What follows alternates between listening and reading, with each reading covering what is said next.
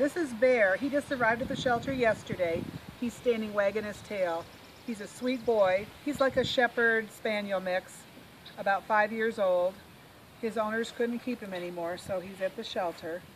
And he's got the cone of shame on because he was just neutered yesterday.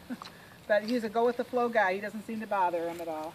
As you can see, he's got like shepherd markings on his back. He's got kind of like a saddle.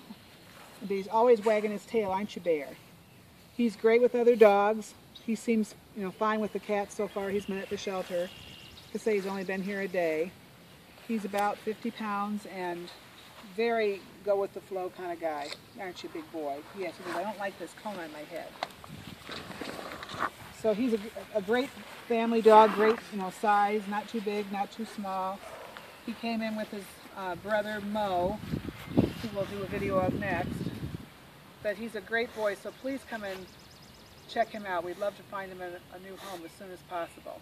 Aren't you a good boy? Look at your handsome face. You're so pretty. Yes, what a good boy. All right, bye-bye.